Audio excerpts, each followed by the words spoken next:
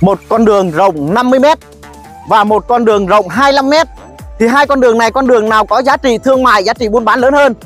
Đây là những câu hỏi và những cái thắc mắc của rất nhiều nhà đầu tư. Khi mà giá đất ở trên hai tuyến đường này là cũng xem xem nhau. À, và em Hiếu cũng sẽ giải thích cho mọi người biết là tại sao mỗi đường to một đường nhỏ lại có giá là xem xem nhau. Thì xin kính thưa mọi người là đường này là đường rộng là 50m và đường này sẽ có một con lươn ở giữa đấy để ngăn cách giữa hai chiều với nhau. Và con lươn này thì à, nó mục đích là hạn chế vấn đề về tai nạn này kia. Nhưng ngược trở lại về vấn đề buôn bán thương mại của mặt tiền đường này thì chắc chắn nó sẽ bị hạn chế bởi con lươn này. Bởi vì khi chúng ta đi lên chiều bên này muốn mua hàng ở bên kia thì buộc phải lên bên kia để quay đầu. Rất là bị bị bất tiện. Đấy nhưng ngược trở lại thì tuyến đường này là tuyến đường chính tuyến đường lớn nhất. Cho nên chắc chắn đường này sẽ là đường lưu lượng nhiều nhất. Đó tất cả cái muốn đi vào những cái đường nhánh thì buộc phải lưu lượng trên đường này trước. Còn bên tay phải em hiếu đây chính là tuyến đường N9 là con đường rộng 25 m đường này được mệnh danh là đường xương sống, đường xương sống của khu tái định cư, là của khu dân cư. Đường này có lộ giới là 25 m và có là 4 làn xe. Chiều dài của đường này là kéo dài khoảng là 4 km đến 5 km như vậy thì mỗi tuyến đường sẽ có một cái ưu điểm và cái nhược điểm khác nhau, tùy vào đánh giá của nhà đầu tư.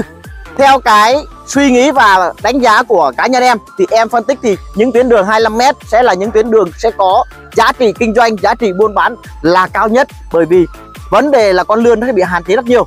Và đây chính là những con đường xương sống của khu cho nên là vấn đề lưu lượng của người dân sẽ tập trung ở những cái tuyến đường này, ở hai xung quanh những cái tuyến đường này. Và hôm nay em Hiếu sẽ giới thiệu đến quý anh chị một lô đất nằm trên tuyến đường này, đối diện với dãy nhà ở dịch vụ thương mại và công nhân sát bên chợ BKMX và sát bên khu nghiệp BKMX mời mọi người hãy theo em.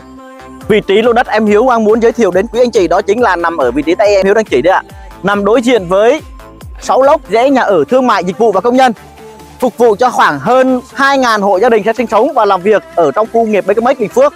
Và phía tay em Hiếu đang chỉ ở tay phải đây, chỗ nhà máy màu xanh đó chính là nhà máy sản xuất bìm em bé lớn thứ năm thế giới của Thổ Nhĩ Kỳ. Và đó chính là khu công nghiệp BKMX Bình Phước, hơn 2.000 hecta hội tụ hàng nghìn, hàng trăm nghìn công nhân sẽ về đây sinh sống và làm việc và hàng nghìn nhà máy sẽ về đây hoạt động trong thời gian sắp tới. Hiện tại thì đã có khoảng 6 đến 7 nhà máy đã đi vào hoạt động rồi. Vâng với tiềm năng cực kỳ là lớn luôn. Đường này chính là đường xương sống của khu tái định cư và sát bên khu công nghiệp và kế bên chợ BKMX đấy, một vị trí cực kỳ tiềm năng đối diện với dãy nhà ở công nhân. Diện tích đất là ngang năm dài 30 và được xây dựng tự do.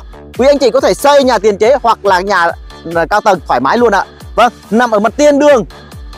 Tiềm năng như vậy thì giá trị sẽ cao lắm phải không? Không, lô đất này cực rẻ luôn, với giá chỉ có là 1 tỷ 090 triệu. Quý anh chị đã sở hữu ngay một lô đất diện tích 150 mét vuông, tính ra chỉ có mấy triệu một mét vuông thôi ạ. Chỉ có một lô duy nhất thôi. Quý anh chị nhanh tay còn chần chờ gì nữa? Gọi điện cho em Hiếu, số điện thoại em để trên màn hình chính. Em xin cảm ơn.